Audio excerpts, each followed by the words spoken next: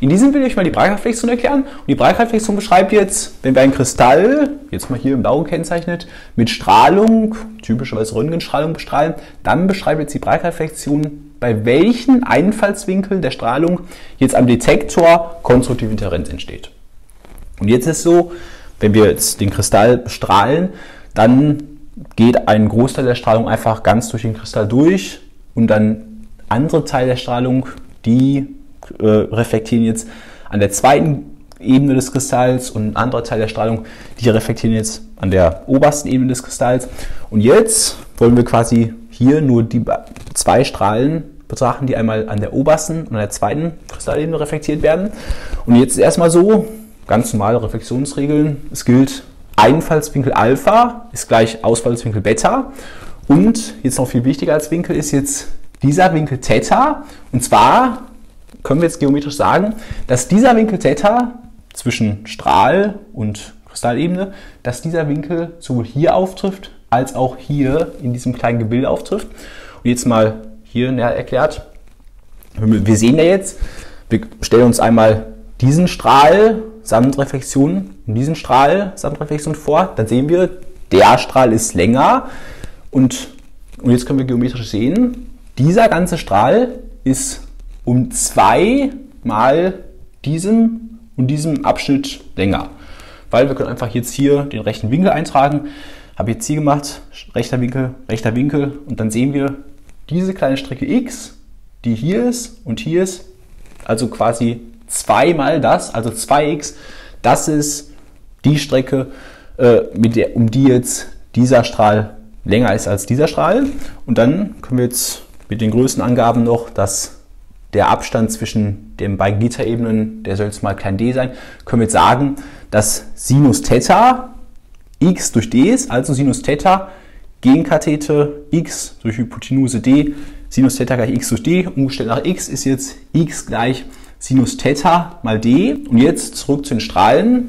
Wir haben jetzt zwei Röntgenstrahlen und wir wissen, diese Röntgenstrahlen können wir auch als Wellen beschreiben. Und jetzt, wenn wir zwei Wellen haben mit einem Längenunterschied, dann sprechen wir von dem Gangunterschied. Das heißt, diese 2x, die Strecke 2x, das ist quasi jetzt unser Gangunterschied zwischen diesen beiden Wellen.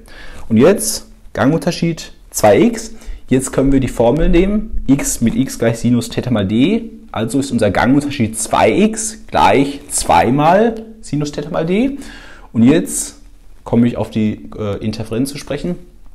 Und zwar müssen wir wissen, konstruktive Interferenz tritt ja auf, wenn wir zwei Wellen haben, die einen Gangunterschied von einem Vielfaches von Lambda, also n mal Lambda haben. Ich kann es kurz mal jetzt ganz kurz wiederholen. Wenn wir einen Gangunterschied von n mal Lambda haben, haben wir zwei Wellen. Eine Welle ist so und die andere Welle ist so oder hier, ich kann es noch weitermachen. Das wären jetzt zwei Wellen mit Gangunterschied von ein Vielfaches von Lambda, was dazu führt, dass jetzt Wellenberg und Wellenberg sich aufaddieren, Wellental und Wellental sich aufaddieren. Also falls ihr mehr oder nicht wisst, warum genau, dann am besten vielleicht noch ein Video zur Interferenz angucken.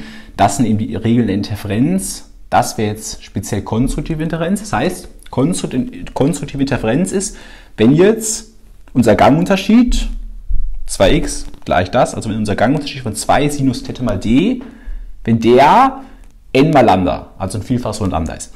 Dann haben wir konstruktive Interferenz. Das ist auch erstmal das Wichtigste hier bei uns. Gleichzeitig gilt auch noch, es ist nicht so wichtig, dass wir destruktive Interferenz haben, wenn jetzt 2 Sinus Theta mal d jetzt n mal Lambda halbe ist. Dann haben wir eben eine Auslöschung von Wellenberg und Wellental. Und das Ganze können wir jetzt im Drehkristallversuch darstellen. Jetzt Drehkristallversuch, da haben wir einen Kristall, wo wir jetzt die Winkel variieren können. Und da kann man jetzt folgendes sehen. Jetzt auf der x-Achse unser Einfallswinkel Alpha, also unser Winkel, mit dem, mit, der, mit dem quasi das Licht auf den Kristall trifft. Das auf der x-Achse, jetzt die Intensität auf der y-Achse. Und wir sehen jetzt folgenden Zusammenhang. Wir sehen jetzt, dass wir eine ja, verschiedene Maxime haben in dieser Anordnung. Das heißt, bei bestimmten Winkel Alpha, jetzt einmal bei diesem Winkel, bei diesem Winkel, bei diesem Winkel, da haben wir Intensitätsmaxima, da haben wir eben konstruktive Interferenz auf dem Detektor und das sind jetzt unsere sogenannten Breakwinkel oder auch Glanzwinkel. Da haben wir konstruktive Interferenz und dann können wir uns vorstellen, dass eben bei diesen Winkeln wir Strahlenpaare haben, die jetzt auf dem Detektor konstruktive Interferenz machen. Das heißt, an dem Detektor kommen jetzt gleichzeitig Wellenberg und Wellenberg, Wellental und Wellental an. Tal an. Das heißt, hier Intensitätsmaxima. Und jetzt nochmal ein anderes kleines Detail. Wir sehen jetzt, wir haben jetzt drei Maxima und dazwischen haben wir quasi kaum Intensität. Das heißt, dazwischen haben wir quasi nur Minima. Und das liegt daran, äh, dass wir quasi bei allen anderen Winkeln, außer diesen Glanzwinkeln, bei allen anderen Winkeln haben wir quasi immer irgendwelche Strahlenpaare, die jetzt hier auf irgendwelche Atome des Kristalls auftreffen, die sich dann am Detektor wieder auslöschen. Das heißt, es gibt ganz viele verschiedene Varianten von destruktiver Interferenz, dass wir eine Auslöschung haben. Deswegen fast überall annähernd destruktive Interferenz, nur bei den Glanzwinkeln hier konstruktive Interferenz. Das ist noch ein kleines Detail dazu und das war es dann damit zu diesem Video.